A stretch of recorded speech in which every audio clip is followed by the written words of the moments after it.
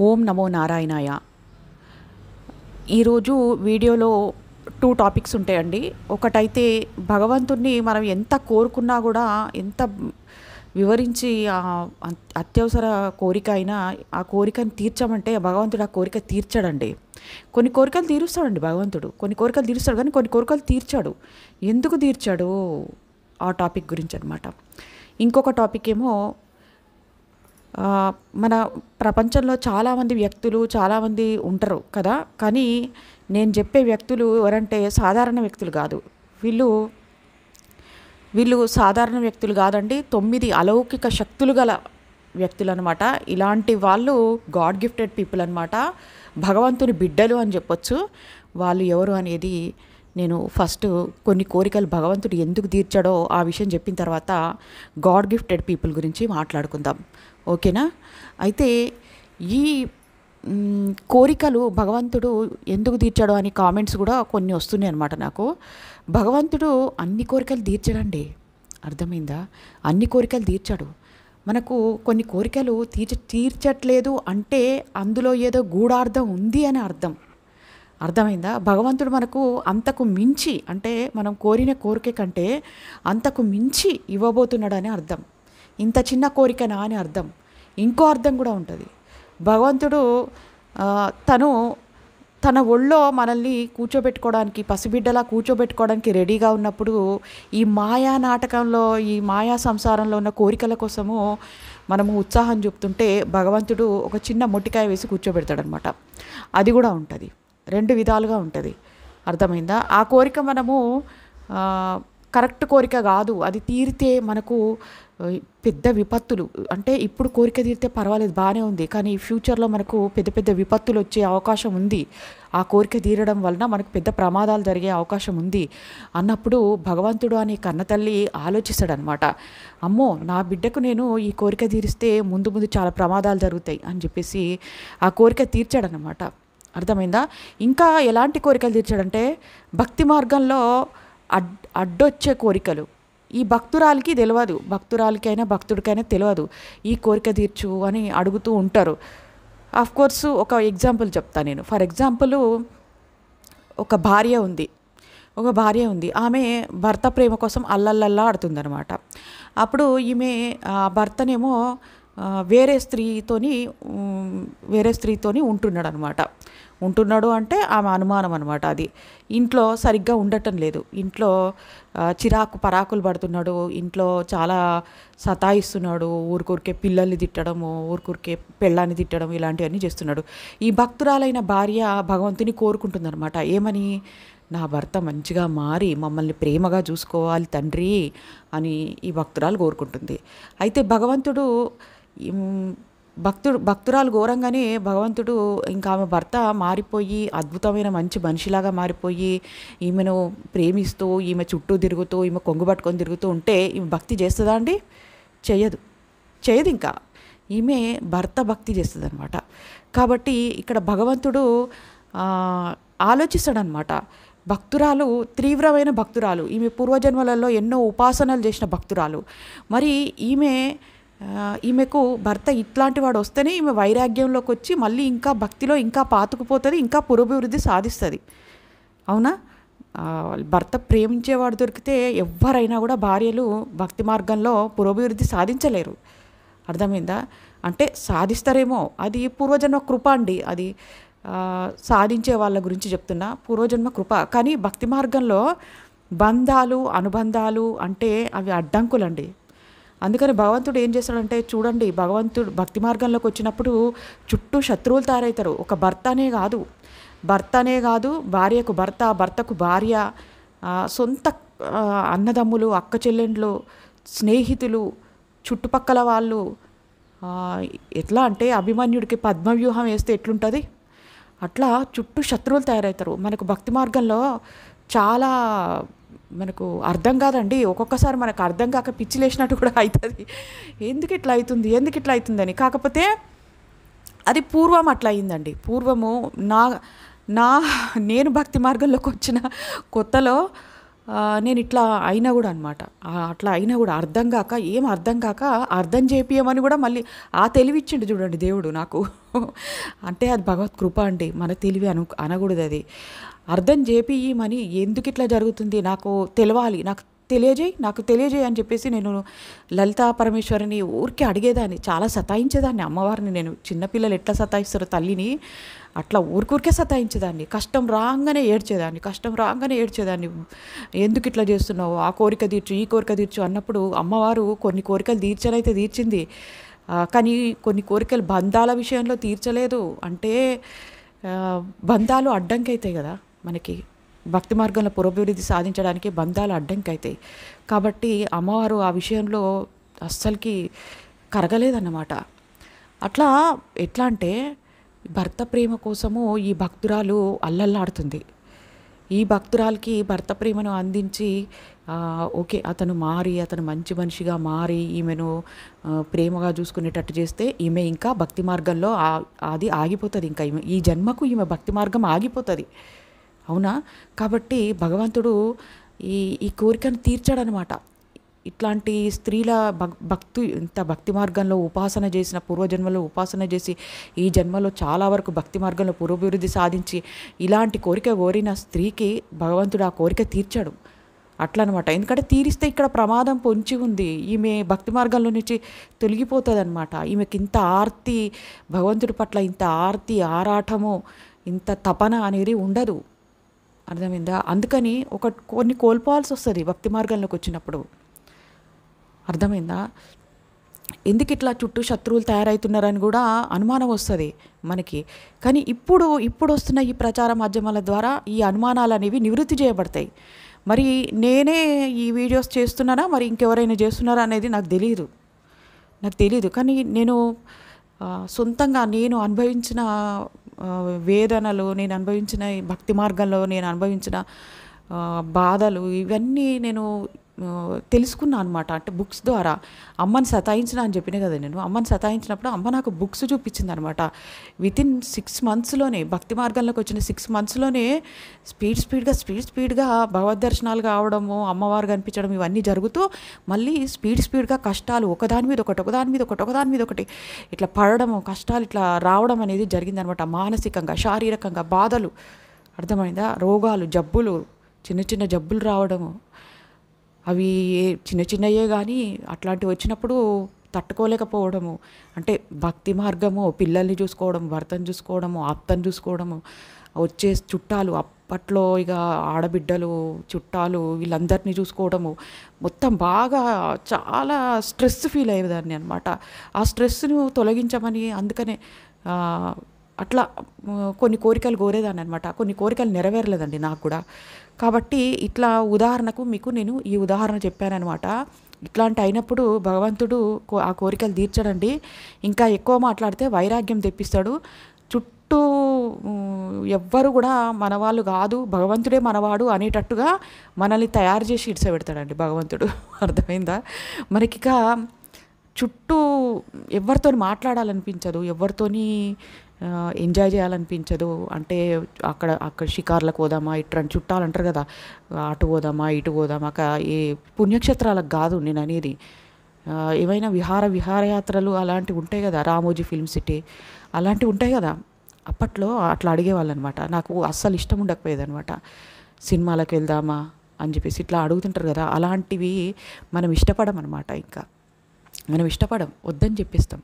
అసలు మనుషులతో మాట్లాడడం కూడా ఇష్టం ఉండదు. అలాంటి స్థితికి వస్తాం మనం భక్తి మార్గంలో. భగవంతుడు అట్లా లాక్కొచ్చి పెడతాడు. ఏంటంటే భక్తి మార్గంలో పురోభివృద్ధి సాధించాలంటే గుంపులో గోవిందంలాగా ఉండరు భక్తులు. గుంపులో గోవిందంలాగా ఉండేటట్లు చెయ్యడు భగవంతుడు. ప్రత్యేకమైన వ్యక్తిలాగా తయారు చేస్తాడనమాట భగవంతుడు మనల్ని. తీర్చిదిద్దుతాడనమాట అర్థమైందా? అరిషడ్ వర్గాలు నశిస్తాయి మనకి. ఇంకా ఈ భగవంతుడు ఈ కోరికలు అనేవి తర్వాత తర్వాత ప్రమాదంలో పడేసేవి ఉంటాయి. కాబట్టి ఆ కోరికలు తీర్చడనమాట ఉదాహరణకు మీకు ఈ కోరిక చెప్పిన కదా నేను ఇంకో కోరిక చెప్తావి వినండి. నేను ఏంటంటే మా చుట్టాలలోనే ఒక మా చుట్టూ దగ్గర చుట్టాలే వాళ్ళు. అయితే వాళ్ళ అబ్బాయి వాళ్ళ అబ్బాయికి బీటెక్ కంప్లీట్ అయింది కానీ సర్టిఫికెట్స్ రాలేదు. కాబట్టి అప్పుడు కానిస్టేబుల్ జాబ్కి అవి అవుతున్నాయి అన్నమాట లాంగ్ జంప్ హై జంప్ అలాంటివి చేస్తారు కదా. దానికి అప్లికేషన్ పెట్టుకుండు అనమాట ఆ అబ్బాయి. అంటే ఆ అబ్బాయి పెట్టుకుంటూ వాళ్ళు ఇంటి ఇంటి వాళ్ళు కూడా పెట్టుకురు ఎక్కువ ఆశలతోని. అంటే కానిస్టేబుల్ వస్తుందేమో అని. ఎంతైనా గవర్నమెంట్ జాబ్ కదా. గవర్నమెంట్ జాబ్ కానిస్టేబుల్ అయినా పర్వాలేదు అని అనే యావలో ఉన్నారనమాట వాళ్ళు. ఉండి అందులో ఈ అబ్బాయి వల్ల అమ్మ కాదు కానీ ఈ అబ్బాయి వల్ల నాన్న చాలా భక్తుడు అనమాట శివభక్తుడు. శివుడు శివాలయం వెళ్ళడము ప్రతి సోమవారము శివమంత్రాన్ని జపించడం అలాంటివన్నీ చేస్తుంటాడు అనమాట అతను. అయితే బాబుకి బాబుకి కానిస్టేబుల్ జాబ్ రావాలని చెప్పేసి ఈ వాళ్ళ తండ్రి బాగా కోరుకున్నాడు అనమాట వాళ్ళ మమ్మీ కూడా ప్రార్థిస్తుంది కదండి మామూలుగా భక్తురాలు కాకపోయినా ప్రార్థిస్తారు నిత్య దీపారాధన చేసుకొని. కానీ వాళ్ళకు ఆ కోరిక నెరవేరలేదండి. బాబు లాస్ట్ వరకు వచ్చేసి లాస్ట్ ఎగ్జామ్లో ఫెయిల్ అయ్యిండు అనమాట అప్పుడు వాళ్ళు ఎంత బాధపడ్డారంటే చాలా బాధపడ్డారండి. ఎందుకంటే ఈ శి శివ పంచాక్షరిని ఎప్పుడు నిత్యము జపించే ఈ వ్యక్తి వాళ్ళ తండ్రి ఎవరైతే ఉన్నారో అతను బాగా ప్రార్థించిండంట భగవంతుడిని ఈ జాబ్ రావాలి సెటిల్ అయిపోతే నా బాబుకి బాగుంటుంది నా బాబు గవర్నమెంట్ జాబ్ వస్తే అని చెప్పేసి. అయితే తర్వాత ఏం జరిగిందంటే ఈ కానిస్టేబుల్ జా ఆగిపోయిన తర్వాత బీటెక్ సర్టిఫికెట్స్ వచ్చినాయి. వచ్చిన తర్వాత రెండు మూడు నెలల తర్వాత ఎస్ఐ పోస్టులు పడ్డాయండి. ఎస్ఐ పోస్టులు పడ్డప్పుడు ఆ అబ్బాయికి ఎస్ఐకి మళ్ళీ అప్లికేషన్ పెట్టుకోవడం అవన్నీ జరిగినాయి. ఆ ఎగ్జామ్స్కి ప్రిపేర్ అయ్యిండు ఆ బాబు. ప్రిపేర్ అయ్యిండు. ఎస్ఐ అయ్యిండండి ఆ బాబు. ఎస్ఐ అయ్యిండు. అప్పుడు వాళ్ళకు నాకే రోమాలు నిక్కబడుచుకున్నాయండి అసలుకి. ఆ బాబు వాళ్ళ తండ్రి ఎవరైతే ఉన్నారో అతి భక్తుడు చాలా భక్తుడు అనమాట పూర్వజన్మలో అతను కూడా ఉపాసన చేసిన వాడు అయ్యిండొచ్చు. అతనిలో కూడా మొహంలో కూడా తేజస్సు ఉంటుంది. సాక్షాత్తు శివుడిలాగా కనిపిస్తాడు అనమాట అతను. అయితే ఇతను చాలా భావోద్వేగానికి గురైండు అనమాట అప్పుడు ఆ కోరిక తీర్చినప్పుడు భగవంతుడి మీదనే అనుమానం వచ్చిందట ఆయనకి. అంటే నిజంగా భగవంతుడు భగవంతుడు ఉన్నాడా? భగవంతుడు నిజంగా కోరికలు తీరుస్తాడా? ఇంతకుముందు ఎన్నో కోరికలు తీర్చినా కూడా ఈ కోరిక ఒక్క కోరిక తీర్చకపోతే చూడండి మానవులు మానవులు అట్లా అనుకుంటారండి కానీ కాదు. భగవంతుడు అనేవాడు తల్లిలాగా కన్న తండ్రిలాగా ఏది ఇస్తే బాగుంటుంది ఎన్ ఏ ఏ కోరిక తీరిస్తే బాగుంటుంది ఈ కోరిక తీర్చకపోతే ఇంకా అంతకు మించి నా బిడ్డకి ఇస్తా అని చెప్పే ఆలోచన కూడా ఉంటుందండి. అందుకని భగవంతుడిని అనుమానించొద్దు. మనం ఏం కోరిక కోరుతున్నామో ఆ కోరిక ఆ కోరిక సరైనదేనా కాదా ఆ కోరిక వల్ల ఆ కోరిక తీరటం వల్ల ముందు ముందు ఏమైనా ప్రాబ్లమ్స్ వస్తాయా లేకపోతే అంతకు మించి ఇద్దామా? ఇవన్నీ ఆలోచిస్తాడు రౌండ్ ఫిగర్ వేస్తాడు భగవంతుడు. మనలాగా కాదు మనలాగా ఒకే వన్ వేలాగా ఆలోచించాడు. రౌండ్ ఫిగర్ వేస్తాడు భ భగవంతుడు. అర్థమైందా? రౌండ్ ఫిగర్ వేసి ఆ కోరిక తీర్చాలి. అందుకని పేషెన్స్ ఉండాలండి భక్తులకు ఎప్పుడే కానీ ఒక కోరిక తీర తీరకపోతే భగవంతుడినే అనుమానించొద్దు. భగవంతుడు అండి సృష్టికర్త. సృష్టిని ఆయన పరిపాలిస్తున్నాడు. సృష్టిలో అన్ని జీవజంతుల జాలాలను సృష్టించిందే భగవంతుడు. మరి ఆ భగవంతుడిని అనుమానిస్తే ఎట్లా? చెప్పండి. భగవంతుడిని అనుమానిస్తే ఎట్లా? కొన్ని కోరికలు తీర్చలేదు అంటే అందులో గూఢార్థం ఏముందో ఆలోచించాలి. ఆలోచించాలి. ఎందుకు తీర్చాడండి భగవంతుడు? ఎన్నో కోరికలు భక్తుల కోరికలు తీర్చలేదు. ఆ భక్త ప్రహ్లాదుడికి భక్ భక్త భక్త ప్రహ్లాదుడి కోసము నరసింహస్వామి స్తంభంలో నుంచి రాలేదా? చెప్పండి. గజేంద్ర మోక్షంలో గజేంద్రుడు కోసము శ్రీమన్నారాయణుడు పరిగెత్తుకొని రాలేదా? చెప్పండి. వచ్చి గజేంద్రుడిని రక్షించలేదా? ఇలా ఎన్నో దృష్టాంతాలు ఇలా ఎన్నో దృష్టాంతాలండి.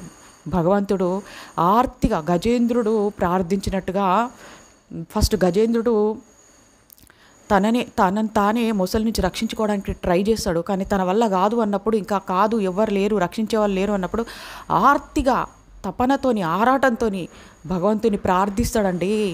భగవంతుని అంత తపన ఉండాలి అంత ఆర్ద్రత ఉండాలి. నిజానికి దిక్కు లేని దిక్కు దివానం లేని పరిస్థితులలోనే భగవంతుడు వెంటనే మన దగ్గరికి పరిగెత్తుకొని వస్తాడు.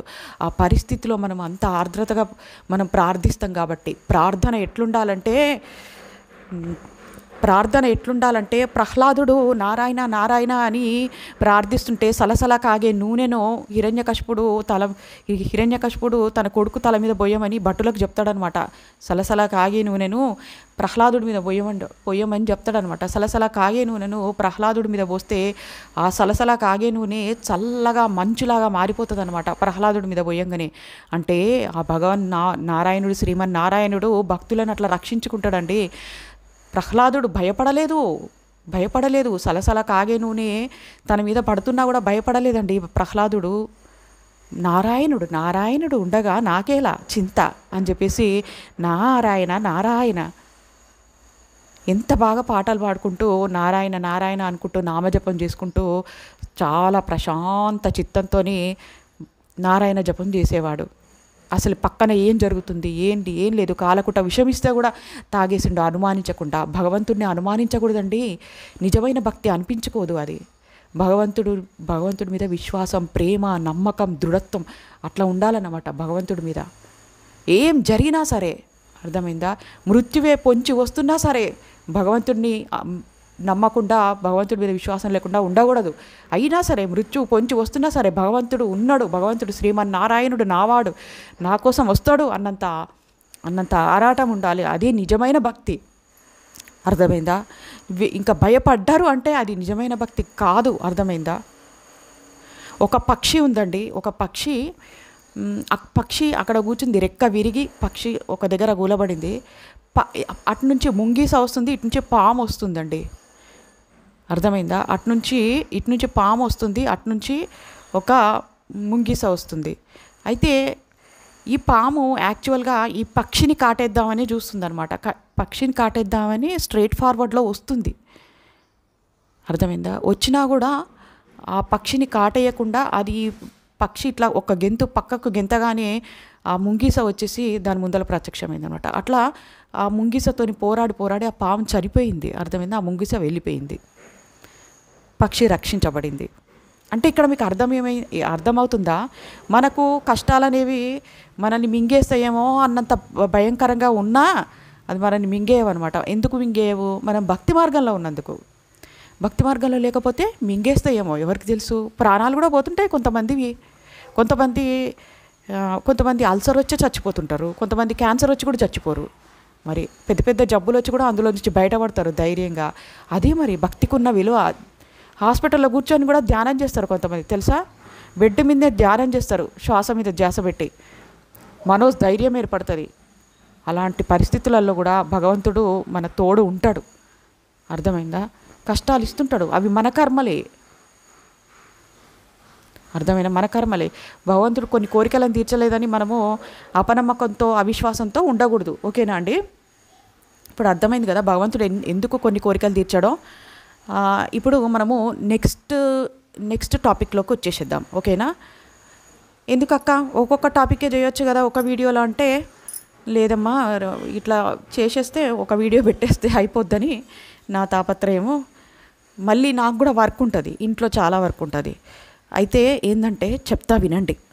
ఇప్పుడు ఈ తొమ్మిది అలౌకిక శక్తులు అనేవి సాధారణ మనుషులలో అయితే ఉండవు అర్థమైందా? వాళ్ళు గాడ్ గిఫ్టెడ్ పీపుల్ అని అర్థం అనమాట వాళ్ళు మామూలు పిల్లలు మామూలు కాదు మామూలు వ్యక్తులు కాదు. అయితే వాళ్ళు ఎట్లా ఉంటారు? గోల్డెన్ స్పూన్తో పుడతారు వీళ్ళు అని అనుకోకూడదు. పప్పులో కాలేసినట్టే అనమాట మీరు. వీళ్ళు గోల్డెన్ స్పూన్తో బుట్టారు. అసలు స్పూనే లేకుండా పుడతారు అనమాట అర్థమైందా? ఎందుకంటే వీళ్ళు చిన్నప్పటి నుంచి కష్టజీవులు అన్నమాట. కష్టాల కడలిలో వీళ్ళు మెల్లిమెల్లిగా మెల్లిమెల్లిగా పైకి వస్తారు కానీ చిన్నప్పటి నుంచి కూడా వీళ్ళ కష్టాల కడలిలో జీవించిన వాళ్ళే అన్నమాట. పుట్టుకతోని అదృష్టవంతులుగా ఏమీ ఉండరు.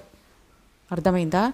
ఈ ఈ ఎందుకంటే భగవంతుడు వీళ్ళను ఎందుకు అట్లా కష్టాల కడలి కుటుంబంలోనే ఉంటారు ఉంటారు వీళ్ళు. కాకపోతే వీళ్ళు పూర్వజన్మలలో ఉపాసన చేసిన వాళ్ళే ఉంటారు. మళ్ళీ ఉపాసన చేసి కూడా మళ్ళీ వీళ్ళకి కష్టాల కడలి కుటుంబం ఏంటంటే పూర్వజన్మలలో గొప్ప గొప్ప తపస్సులు చేసిన వాళ్ళు కూడా కొన్ని తప్పులు చేసిరు తెలియక తెలిసి కొన్ని తప్పులు చేసినప్పుడు పాపకర్మలు అనేవి నెత్తి మీద పడ్డప్పుడు ఆ పాపకర్మను అనుభవించక తప్పదు.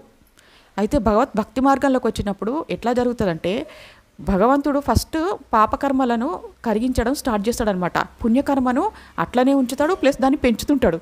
అంతేగాని పాపకర్మను పె పెరగనీయడనమాట. దాన్ని తరగి తరిగి తరిగి తరిగిపిస్తాడనమాట మన చేత. కాబట్టి ఇట్లా భగవంతుడు చిన్నప్పటి నుంచే కష్టాలు చేయడం స్టార్ట్ చేస్తాడనమాట ఇంట్లో మాన ఇంట్లో బాగా హెరాస్ చేసే తల్లి ఉండడమో తండ్రి ఉండడమో కన్న తల్లిదండ్రులు కూడా కొంతమంది పిల్లల్ని హెరాస్ చేస్తారనమాట లేకపోతే సవతి తల్లి కింద ఉండడమో సవతి తల్లి దగ్గర ఉండడమో లేకపోతే చిన్నప్పుడే తల్లిదండ్రులు కోల్పోయి కష్టాలు అష్ట కష్టాలతో పిల్లలు పెరగడమో బంధువుల ఇండ్లల్లో ఇట్లాంటివి ఏదో ఒక రకమైన కష్టంతోనే పెరుగుతారు. వాళ్ళు రాటు అనమాట ఆ కష్టాలతోని వాళ్ళు ఎట్లయిపోతారంటే చాలా రాటుదేలిపోతారు. వాళ్ళు స్ట్రాంగ్ అవుతారు అనమాట ఏ కష్టానికి భయపడిన స్థితికి వచ్చేస్తారనమాట వీళ్ళు. ఇంకోటి ఏంటంటే వీళ్ళు ఒక్కొక్కసారి అయితే కొంతమంది మృత్యువును చూసి మళ్ళీ వస్తారు. పల పలకరించి మరీ వస్తారనమాట అంత కష్టాలు కూడా ఉంటాయన్నమాట వీళ్ళకి. అర్థమైందా అండి? అంత కష్టాలు కూడా ఉంటాయి వీళ్ళకి. మృత్యువును కూడా చూసి వస్తారు వీళ్ళు. ఇలాంటి ఒక శాస్త్రం ఉంటుంది చూడండి. ఎట్లా అంటే మామూలు వాళ్ళకు కష్టాలు ఉండవండి. అది ఛాలెంజ్ని ఎదుర్కొనే వాళ్ళకే ఆ కష్టాలు ఉంటాయి అనమాట అంటే మనం ఛాలెంజ్ని ఛాలెంజెస్ని ఛాలెంజెస్ని ఎదుర్కోగలం అనమాట అంటే కష్టాలను మనం ఎదుర్కోగలం. ఆ సత్తా మనకు ఉంది కాబట్టి భగవంతుడు మనకే ఇచ్చిండు కష్టాలు. అర్థమైందా? మళ్ళీ భగవంతుడు పూర్వజన్మలలో మనం ఉపాసన చేసిన వాళ్ళం కాబట్టి భగవంతుడు మనకు బై బర్త్తోనే మన వెనకాల ఉండి మనల్ని ముందరికి నడిపిస్తుంటాడు అనమాట అంటే ఆ కష్టాలలో మనము ఉన్నప్పుడు భగవంతుడు మనతో పాటు లేడని అనుకోవద్దు. ఉన్నాడు చిన్నప్పటి నుంచే మనతో పాటు ఉంటాడు. అర్థమైందా? మనకు అదొక ఆత్మ ధైర్యం ఉంటుంది. మనము ఒక క- ఎన్ని కష్టాలు వచ్చినా కూడా మనం ధైర్యంగా ఉంటాము. ఆహా అంత ధైర్యంగా నేను ఎట్లుండగలిగినా అని పెద్ద అయినాక అర్థమవుతుంది అబ్బా అప్పుడు అట్లే అట్లెట్లా అన్ని కష్టాలు అనుభవించగలిగినా అని చెప్పేసి అనిపిస్తుంది అనమాట అప్పుడు అంత అంత ధైర్యంగా అంత దృఢంగా నేను ఎట్లుండగలిగినా. అదంతా భగవత్ కృప అండి. ఉండలేరు అందరూ. అర్థమైందా? కొంతమంది ఎట్లుంటారు చూ- చూడండి సూసైడ్ చేసుకుంటుంటారు కొన్ని కష్టాలు రాగానే. అర్థమైందా? అట్లాంటి పరిస్థితులు వస్తాయి వాళ్ళకి. అందుకని భక్తి మార్గంలో పిల్లల్ని కూడా చిన్న చిన్న పిల్లల్ని కూడా చిన్నప్పటి నుంచే భక్తి మార్గంలోకి లాక్కరావాలండి. వాళ్ళు పెద్ద అయితే వినరండి. కాబట్టి చాలా టూ ఇయర్స్ బాబు నుంచే వాళ్ళకి భగవన్నామ నారాయణ ఏదో ఒకటి ఓం నమ శివాయనో ఏదో ఒకటి నేర్పించి పూజలో కూర్చోబెట్టుకొని వాళ్ళకు పూజలు చూపియాలండి. వాళ్ళకు చూపి అంటే అది పెద్ద అయినాక వినరండి పిల్లలు. రెండు సంవత్సరాల పిల్లలు అప్పటి నుంచి స్టార్ట్ చేస్తేనే వాళ్ళు మెల్లిమెల్లిగా అలవాటు అవుతారు టూ ఇయర్స్ బాబు టూ ఇయర్స్ పాప అప్పటి నుంచి స్టార్ట్ చేయాలి. అప్పట్లో నాకు తెలియక కానీ అప్పట్లో నాకు తెలియక కానీ లేకపోతే మా పిల్లల్ని అంత చిన్నప్పటి నుంచే కూర్చోబెట్టేదాన్ని. కాకపోతే విచిత్ర విషయం ఏంటంటే విచిత్రం ఏంటంటే మా పిల్లలు ఇద్దరు భక్తులే. అట్లా కూర్చోబెట్టలేదు నేను. కాకపోతే నా భక్తిని చూసి నా భక్తిలో అనుభవాలు చూసి నేను ధ్యానం చేసేటప్పుడు నేను ఊగడము మాట్లాడడము నేను నాలో ధ్యానం చేసేటప్పుడు దుర్గమ్మ తేజస్సు నా లోపలికి వచ్చి నా మొహం మెరవడము తేజస్సు నన్ను చూసి దుర్గమ్మలాగా కనిపిస్తున్నావు మమ్మీ అనడము వాళ్ళు ఆశ్చర్యపోయిన ఆశ్చర్యపోయాను వా నా మా ఇంట్లో జరిగే అనుభవాలు కొన్ని వాళ్ళకు కూడా చూ వాళ్ళు కూడా చూడడము ఇవన్నీ వాళ్ళు వాళ్ళకి అర్థమైపోయింది అనమాట అమ్మో భగవత్ శక్తి అనేది ఏదో ఉంది ఈ సృష్టిలో అని చెప్పేసి వాళ్ళకు వాళ్ళు కూడా భక్తులుగా మారిపోయారు కానీ స్టడీస్ మూలంగా వాళ్ళు కొంచెం దూరంలో ఉన్నారనమాట. భక్ భక్తి మార్గంలో. అట్లా అని చెప్పేసి దూరంలో ఉన్నారంటే మా అమ్మాయి స్టడీ టేబుల్ మీద బీటెక్ చదువుతుంది కదా స్టడీ టేబుల్ మీద సాయిబాబా కంపల్సరీ ఉంటాడు. అర్థమైందా? దూరంగా వెనక్కి పెట్టమని చెప్పా. టేబుల్లో ఒక మూలకి ఉంటుంది కదా మూలకి వెనక్కి జరిపి పెట్టే ఎందుకంటే మెన్సెస్ వచ్చినప్పుడు మళ్ళీ ఆ సాయిబాబాను ముట్టుకోకుండా సాయిబాబాకి అలాంటి రెస్ట్రిక్షన్స్ ఏమీ ఉండవు బాబాకి. కానీ అయినా కూడా మెన్సెస్ వచ్చినప్పుడు అక్కడ తాకకుండా ఉండాలి కాబట్టి వెనక్కి పెట్టమని చెప్పానన్నమాట మా అమ్మాయి. పొద్దున్న లేవగానే సాయిబాబాని దర్శించుకుంటుంది. తన తన టేబుల్ తన స్టడీ టేబుల్ అందరికీ స్టడీ టేబుల్స్ వేరే వేరే ఉంటాయండి. ఇంకా ఆ రూమ్లో చక్కగా సాయిబాబాని దర్శించుకొని పొద్దున్న లేసి మళ్ళీ స్నానం చేసి వచ్చి మొక్కుకొని మళ్ళీ క్లాసెస్కి వెళ్తుంది ఆమె. అట్లా అనమాట బాబా ఎప్పుడు కనిపించాలి మమ్మీ? తాతయ్య అంటది. తాతయ్య. బా సాయిబాబాని తాతయ్య అంటది. ఎప్పుడు? చిన్నప్పటి నుంచే. నేను కూడా సాయిబాబా భక్తురాలిని కదా. ఆమె తాతయ్య అంటదనమాట. అయితే ఈ ఇట్లా ఇట్లా కష్టాల కడలిలో ఉంటారనమాట వీళ్ళు. గోల్డెన్ స్పూన్తో కాదు. అసలు స్పూనే లేకుండా పుడతారు అని చెప్పే కదా. ఇంకొకటి ఏంటంటే వీళ్ళు ఈ తొమ్మిది తొమ్మిది చెప్తున్నాను వినండి. ఇంకోటి సెకండ్ వన్ అలౌకిక శక్తులు. వీళ్ళు సాధారణ వ్యక్తులు గారు. వీళ్ళు వీళ్ళకి పట్టుదల ఎట్లా ఉంటుందంటే అండి ఎంత పట్టుదల అంటే ఆ పట్టుదల కూడా భగవత్ కృపే అండి. మనకు వచ్చింది అనుకుంటాం కానీ అదంతా భగవత్ కృపే. పూర్వజన్మలో ఉన్న పుణ్యపు కోట పుణ్యపు రాశి యొక్క ఫలితం అనమాట అర్థమైందా? అయితే ఎంత ఏ పని ఎటువంటి పరిస్థితుల్లోనైనా ఎంత హార్డ్ వర్క్ చేసైనా ఆ పని చేసి తీరుతారండి వీళ్ళు. అర్థమైందా? ఆ పని చేసి తీరుతారు. ఎట్లాగైనా కష్టపడైనా రాత్రులు నిద్ర మేల్కొనైనా ఏ పనైనా కూడా చేయడానికి పూనుకున్నారంటే వాళ్ళు ఆ పని చేసేస్తారు. అంతేకాకుండా వీళ్ళకు వీళ్ళకు ప్రాబ్లమ్స్ అనేవి పెద్దయితా ఉంటే వీళ్ళకు ప్రాబ్లమ్స్ అనేవి తగ్గుతుంటాయండి. కష్టాలు తగ్గుతుంటాయి. వీళ్ళు ఒక సెటిల్మెంట్ అవుతారనమాట ఒక స్థాయికి వస్తారు మంచి స్థాయికి వస్తారు వీళ్ళు. మధ్య మధ్య వయసుకు వచ్చేసరికి ఇంకా యుక్త వయసుకు వచ్చేసరికి అయితే ప్రాబ్లమ్స్ సాల్వ్ చేసుకుంటూ వెళ్ళిపోతారనమాట ప్రాబ్లమ్స్ వస్తుంటే కూడా వాటికి సొల్యూషన్స్ వెంట వెంటనే వెంట వెంటనే వాళ్ళ మైండ్లో రావడము లేకపోతే ఎవరో వచ్చి వాళ్ళకి సహాయం చేయడము అట్లాంటివి కూడా జరుగుతాయి. ఎక్కువ శాతం వీళ్ళు బ్రెయిన్ పవర్ అనేది మైండ్ పవర్ అనేది విపరీతంగా ఉంటుందన్నమాట. వీళ్ళు వీళ్ళకు సొల్యూషన్స్ అనేవి వెంటనే దొరుకుతాయి అనమాట అందరికి అట్లా దొరకవండి. ప్రాబ్లమ్స్ వచ్చినప్పుడు దొరకవు. సొల్యూషన్స్ లేక ఎంతోమంది అల్లల్లాడుతుంటారండి. చాలా బాధపడుతుంటారు. కానీ వీళ్ళు ఏంటంటే ప్రాబ్లమ్స్ రాగానే సొల్యూషన్స్ వీళ్ళకి దొరుకుతాయి. ఆ ప్రాబ్లమ్ని నివృత్తి చేసేస్తారు. వీళ్ళు ప్రాబ్లం వచ్చినప్పుడు ఏమి తనకరు బె తొనకరు బెనకరు అనమాట ఆ ప్రాబ్లమ్ని సాల్వ్ ఎట్లా చేయాలని ఆలోచిస్తారు వీళ్ళు. అట్లా అనమాట అర్థమైందా? ఇంకో విషయం. ఏంటంటే వీళ్ళు చిన్నప్పటి నుంచి తాడు తాడు చెప్ చెప్తున్నా వినండి. వీళ్ళు చిన్నప్పటి నుంచి కష్టాలు అనుభవించి అన్ని బాధలు అనుభవించి వస్తారు కదా వీళ్ళు. వీళ్ళు ఎంత సాత్వికంగా మారతారంటే వీళ్ళు వేరే వాళ్ళని దూషించడం కానీ ఎటువంటి పరిస్థితులలోని ఎవరినైనా చులకన చేసి అవమానించి దూషించి మాట్లాడడం కానీ సరే ఇతరులది తప్పైనా సరే వాళ్ళు వీళ్ళు దూషించరండి వాళ్ళను. తప్పైనా సరే పోనీలే అని వదిలేస్తారు లేకపోతే చిన్నగా చెప్తారు మర్యాదగా చెప్తారు కానీ వీరు వీళ్ళు వేరే వాళ్ళని కసిరి కొట్టడము అవమానించడము దూషించడము తిట్టడము కొట్టటము అలాంటివి చేయరన్నమాట వీళ్ళు. అర్థమైందా?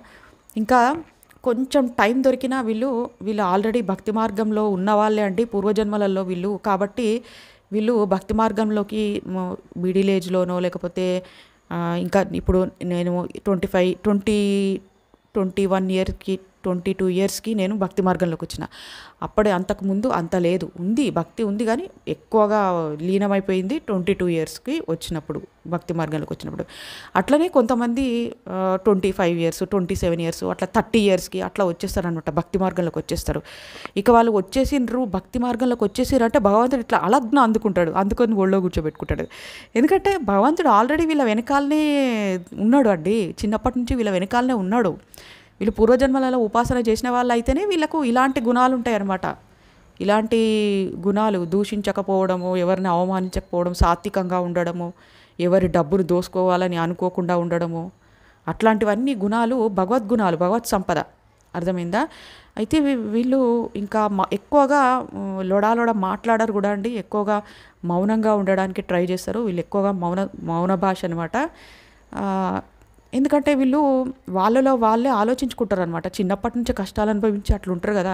ఇలాంటి వాళ్ళు లోడలోడ వాగడం అనేది ఉండదండి. వాళ్ళని ఎట్లా వాళ్ళని వాళ్ళు ఎట్లా సరిదిద్దుకోవాలి వాళ్ళ జీవితాన్ని ఎట్లా దిద్దుకోవాలనే విషయం గురించి ఆలోచిస్తుంటారు అనమాట ఇక భక్తి మార్గంలోకి వచ్చిన తర్వాత అయితే వీళ్ళు భక్తిలో తొందరగా పీక్ స్థాయిలోకి వెళ్ళిపోతారండి వీళ్ళు. వీళ్ళని భగవంతుడు ముందటికి నెట్టుతూనే ఉంటాడు ఇక. ఇక వీళ్ళకు భగవంతుడి పైన విశ్వాసం అనేది సడన్గా వచ్చేస్తుంది అనమాట సడన్గా వస్తుంది. కొంతమంది చిన్నప్పుడు కూడా భక్తి మార్గంలోకి రావచ్చు. కానీ పెద్ద అవుతుంటే మాత్రం ఎక్కువ భక్తి మార్గంలోకి దూసుకొని వెళ్ళిపోతారు వీళ్ళు. అర్థమైందా? ఇట్లా భగవంతుడి కృప ఉన్న వాళ్ళే ఈ విధంగా ఈ విధంగా ఉంటారనమాట చిన్నప్పటి నుంచి అయినా సరే వీళ్ళకి ఒక ఇది ఉంటుంది అనమాట వాళ్ళు చిన్నప్పటి పెద్ద అయినాక వాళ్ళకి అర్థమవుతుంది కానీ చిన్నప్పుడు అర్థం కాదు వీళ్ళు.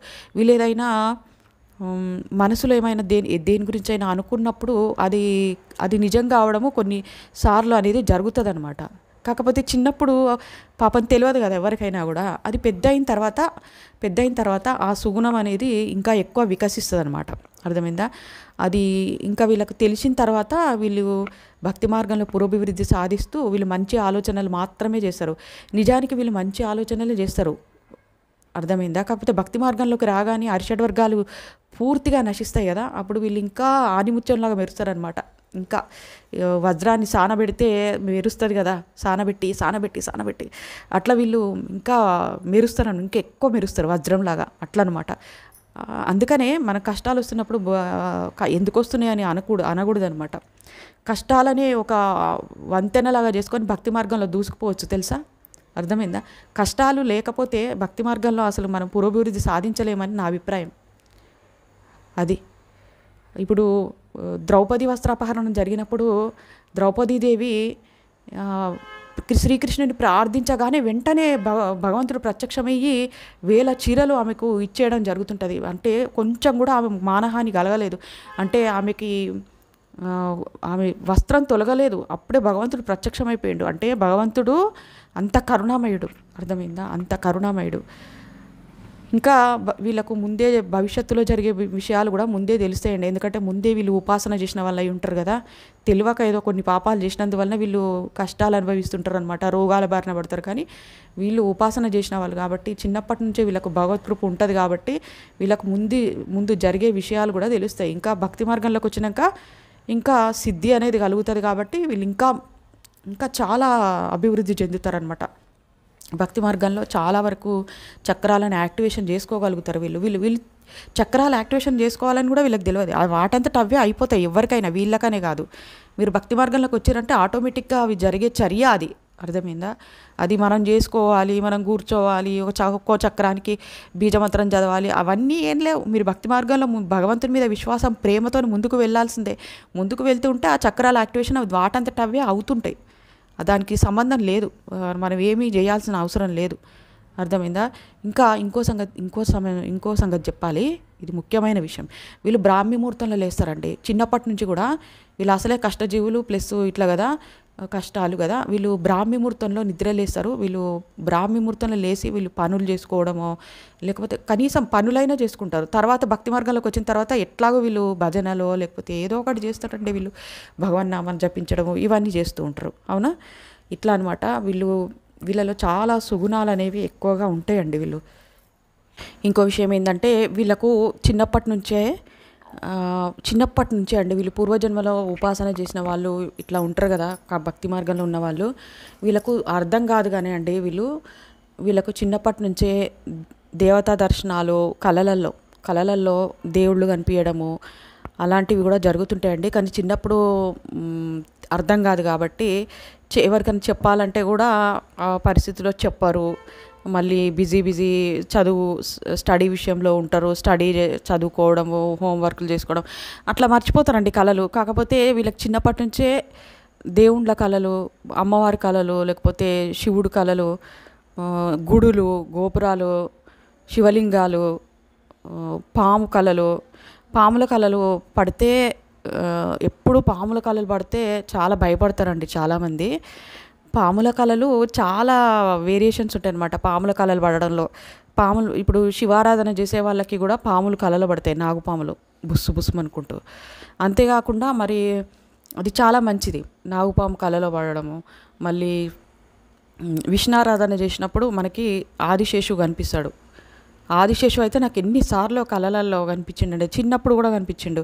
నిజానికి చిన్నప్పుడు కనిపించినప్పుడు నేను చెప్పలేదు ఎవరికి. కాకపోతే చిన్నప్పుడు ఒక్కసారి కనిపించడం జరిగింది నాకు తెలిసి. తర్వాత భక్తి మార్గంలోకి వచ్చిన తర్వాత నేను విష్ణు సహస్రనామాలు చదివేటప్పుడు అప్పుడు ఆదిశేషు నాకు కనిపించడం అనేది జరిగింది. ఇట్లా నిలబడ్డాడు అనమాట తోక మీద. ఎత్తుగా వచ్చి ఇట్లా తలకాయలు అన్నీ పది తలకాయలు ఇట్లా ఆదిశేషువు కనిపించిండు అనమాట నా కళలో కనిపించినప్పుడు నేను కళలో నేనేం భయపడట్లేదు అనమాట అట్లా భయపడకుండా ఉంటే చాలా మంచిది అని అంటారు. కళలో కూడా మనము భయపడినప్పుడు అట్లా ఆదిశేషువును పాములను చూసి భయపడుతున్నప్పుడు కొంచెము బ్యాడ్ అని అంటారు. కాకపోతే బ్యాడు అనేది ఏమీ ఉండదండి. భక్తి మార్గంలోకి వచ్చినాక ఇంకా బ్యాడ్ అనేది ఏముంటుందండి భగవంతుడు మన వెనుక ఉండి తన హస్తాన్ని మన త- తలపైన ఉంచి మనకు అండగా నిలబడి మన వెనకాలనే ఉంటే ఇంకా మనం ఏ కళకి ఎందుకు భయపడాలండి చెప్పండి? చెప్పండి. ఏం భయపడాల్సిన అవసరం లేదండి. మీకు తెలుసా నాకు చిన్నప్పటి నుంచి నాకు కాలసర్ప దోషం ఉందంట. నాకు జాతకం చూపించారు అప్పట్లో. ఎందుకో అవైలబుల్గా అప్పుడు ఆ కాలంలో కూడా అవైలబుల్గా ఒక బ్రాహ్మణుడు ఉంటే ఆ బ్రాహ్మణుడికి నా నేను పుట్టిన పుట్టిన సమయం అవన్నీ ఇస్తే కరెక్ట్గా జాతకం తీసి ఇస్తే కాలసర్ప దోషం ఉందని చెప్పిండట. అయితే ఏవో పూజలు చేపించాలంటే అప్పట్లో వాళ్ళు అప్పట్లో ఆ కాలంలో ఏం పట్టించుకోకపోయేవాళ్ళు. అసలు చూపించుకోకపోయేవాళ్ళు ఎట్లనో అసలు నా ఒక్కదాన్నే చూసి తర్వాత మా మా తమ్ముళ్ళది మా చెల్లెలది కూడా చూడలేదు. కాలసర్పదోషం ఉందని చెప్పేసి చెప్పిండ్రంట ఇంకా నాకు తెలియదు కదా ఇక వాళ్ళు చెప్ ఎప్పుడో తర్వాత పెద్ద అయినాక మా అమ్మ నా నాకు ఊరికే పాములు కలలో పడతాయి అమ్మ అని చెప్పేసి అన్నప్పుడు చిన్నప్పటి నుంచి ఏడ్చేదాన్ని అనమాట కలలో నుంచి లే కలలో మధ్యలో నుంచి లేచి ఏడ్చేదాన్ని అనమాట అప్పుడేం చెప్పలేదు నీకు కాలసర్ప దోషం ఉందని చెప్పేసి. మళ్ళీ నిద్రపుచ్చడము జోకొట్టి నిద్రపుచ్చడము ఆ, స- భయపడకమ్మా అని చెప్పేసి ఏదో ఒకటి చెప్పి పడుకోబెట్టేది మా అమ్మ. కాకపోతే పెద్ద అయిన తర్వాత పెళ్ళైన తర్వాత అప్పుడు చెప్పిందనమాట. అప్పుడు కూడా కలలు పడడం ఆగలేదు. తెలుసా? ఎప్పుడు ఆగినాయో తెలుసా? పాముల కలలు పుట్టలు పెద్ద పెద్ద పుట్టలు. ఆ పుట్టల మీద నుంచి నడుచుకుంటూ వెళ్తుంటా. పాముల కుప్పలల నుంచి నడుచుకుంటూ వెళ్తుంటా. అలాంటి కలలు నాకు పడేవన్నమాట అలాంటి కలలు ఏకదాటిగా పడేవన్నమాట ఏకదాటిగా ఒక ఒక పాము ఎంత పెద్దదో తెలుసా? ఒకే పాము ఒక్కొక్కసారి ఒకే పాము పడేది. చాలా లావుగా ఉండేది. ఈ జిల్లాలు జిల్లాలంత పొడవుగా ఉండేదండి ఏం చెప్పను నేను. జిల్లాలు జిల్లాలంత పొడవుగా. దానికి అంతమనే లేదు తోక కనిపించేది నేను ఆ పాము పాము తలకాయ ఎక్కడుందో అని చూసుకుంటూ ఇలా వెళ్ళేదాన్ని అనమాట ఎంతో దూరం నడుచుకుంటూ వెళ్ళేదాన్ని. తలకాయ కనిపించకపోయేది చాలాసేపటికి తలకాయ కనిపించేది. ఇలాంటి ఇలాంటి కళలు పడేవండి. ఆ కళలు పడ్డప్పుడు నేను చాలా భయపడేదాన్ని చిన్నప్పుడు. తర్వాత పెద్ద అయినాక కూడా భయపడ్డా అండి. తర్వాత తెల్లవారిన తర్వాత కూడా మామూలుగా ఇంట్లో పని చేసుకుంటూ ఉంటాం కదా అప్పుడు కూడా ఒకే బాధ ఈ పాములు పడకుంటే బాగుండు పడకుంటే బాగుండు సడన్గా నేను చెప్పా కదా ఈ నాకు ఇరవై ఒకటో ఇరవై రెండో ఎండ్లో ఉన్నప్పుడు భక్తి మార్గంలోకి వెళ్ళడం జరిగింది. వెళ్ళిన తర్వాత మెల్లిమెల్లిగా ఈ పాముల కళలు వెళ్ళిపోవడం అనేది జరిగింది. ఎందుకంటే మనము భగవన్నామస్మరణ భక్తి మార్గంలోకి రావడము భగవన్నామస్మరణ చేయడము మంత్రం మంత్రజపం చేయడము ఇలాంటి ధ్యానం చేయడం ఇలాంటి వాటి వలన మన పాపకర్మలు భస్మీపటలం అవుతాయి అనమాట ఆ కాలసర్ప దోషం ఏంది? ఇంకా భయంకర శనిగ్రహ దోషాలు ఏ గ్రహ దోషాలైనా కూడా కేవలం భగవన్నామస్మరణ ద్వారా భస్మీపటలం అవుతాయి భగవన్నామస్మరణకు అసలుకి రెస్ట్రిక్షన్సే లేవు. ఎంత అదృష్టమో చూడండి. కలియుగంలో భగవన్నామస్మరణ ఏంటంటే పూర్వము సత్యయుగంలో యజ్ఞాలు యాగాలు తపస్సులు ఈ ఇవన్నీ వేరే యుగాలలో మిగతా మూడు యుగాలలో ఏవి చేస్తే పుణ్యమో అంతకంటే వెయ్యి రెట్ల పుణ్యం భగవన్నామస్మరణ వలన వస్తుంది. భగవంతుని పూజించడం ద్వారా వస్తుంది. అర్థమైంది? భక్తి మార్గంలోకి రావడం ద్వారా వస్తుంది. మనం ఇన్ని కార్యక్రమాలు చేస్తున్నాము చేసినప్పుడు ఇంకా ఏ గ్రహదోషం మనల్ని ఏం చేస్తుందండి? చెప్పండి. చెప్పండి ఏ గ్రహదోషం ఏం చేయదు? ఆ పాముల కళలు పడడం అనేది ఆగిపోయింది. అర్థమైందా? కాకపోతే నాకు అప్పుడప్పుడు ఆదిశేషువు మాత్రం కనిపిస్తాడు తెలుసా? ఆదిశేషువు ఎందుకు కనిపిస్తాడు అని అంటే మా ఇంట్లో ఒక ఫోటో ఉంది. అది అందులో ఆదిశేషు పాన్పు పైన పవలించి విష్ణుమూర్తి ఉంటాడు లక్ష్మీదేవి. కాళ్ళొత్తుతూ ఉంటుంది. దాన్ని నేను మా పూజ కబోర్డ్ పైన పెట్టాను అనమాట అంటే నేను అటు ఇటు నాకు ఫోటోలు చూసి అలవాటు కదా. అంటే ఊరికే పని చేసుకుంటూ ఊరికే ఏదో ఆలోచించుకుంటూ ఉండే కంటే నారాయణ నారాయణ అనుకుంటూ పూజ గది పూజ కబోర్డు పైన ఉండే ఆ ఫోటోని చూసుకుంటూ వెళ్ళొచ్చనే ఫోటో దాని పైన పెట్టాను అనమాట ఎప్పుడో పెట్టాను. చాలా సంవత్సరాల క్రితమే పెట్టాను. ఆ ఫోటో చాలా జాగ్రత్తగా చూసుకుంటున్నాను దాన్ని. చాలా బాగుంటుంది ఆ ఫోటో మీకు కూడా చూపిస్తా. ఎప్పుడన్నా పోస్ట్ చేస్తానండి అయితే ఆ ఫోటో నాకు అన్ఎక్స్పెక్టెడ్గా పూజ స్టోర్లోకి వెళ్ళినప్పుడు ఆ ఫోటో కనిపిస్తే వెంటనే తీసేసుకున్నాను అనమాట ఆ ఫోటో నేను పూజ కబోర్డ్ పైన పెడతా అటు ఇటు వెళ్తూ చూస్తూ చూస్తూ ఉంటా. అసలే పాములు కలలు పడ్డదాన్నిగా నేను. మళ్ళీ నా దృష్టి ఆదిశేషు అని ఆదిశేషు పైకి వెళ్ళిపోతుంది అనమాట ఆదిశేషువుని చూస్తా పాము పాము అని చెప్పి చూస్తా. కానీ పాములు ఏం పడవు అయినా కూడా పడవు. కానీ ఆదిశేషు కనిపిస్తాడు. అట్లా అనమాట ఆదిశేషువుని కూడా ప్రార్థిస్తా నేను. అర్థమైందా? ఆదిశేషువుని కూడా తండ్రి ఆదిశేష అని చెప్పేసి ప్రార్థిస్తా. కరుణించు తండ్రి నీ దయా కా కారుణ్య కటాక్షాలు మాకు ప్రసాదించు తండ్రి అని ఆదిశేషుని కూడా సపరేట్గా ప్ర నేను ప్రార్థిస్తా. అర్థమైందా? అట్లా అనమాట ఒక అన్నమాచార్య కీర్తన ఉందండి ఆదిశేషుకు సంబంధించింది. ఆ ఆ అన్నమాచార్య కీర్తన పాడుతూ ఆజ్ఞాచక్రం దగ్గర ఆదిశేషువుని చూస్తూ ఆ అన్నమాచార్య కీర్తన పాడతా. ఎప్పుడన్నా పోస్ట్ చేస్తానండి. పోస్ట్ కాదు అప్లోడ్ చేస్తా ఆ పాట. చాలా బాగుంటుంది. ఎవరైనా పాముల కళలు వచ్చేవాళ్ళు ఆ పాట పాడుతూ ఆదిశేషువుని వేడుకున్నట్టయితే ఈ చిన్న చిన్న పాములన్నీ ఆదిశేషువు ఆధీనంలో ఉంటాయి కాబట్టి మనకు మనకు బాగుంటుంది అనమాట మనకు అంటే మనకు కళలు పడడం భయపడడం అనేది జరగదు. మనకు ధైర్యం కూడా వస్తుంది. అట్లనమాట చెప్పాను కదండి అలౌకిక శక్తులు చాలా చాలా వరకు అయితే చెప్పినా నేను మీకు. కాబట్టి ఇంకా వీడియో ముగించబోతున్నానండి. మళ్ళీ నెక్స్ట్ వీడియోలో కలుసుకుందామండి. ఓం నమో నారాయణాయ.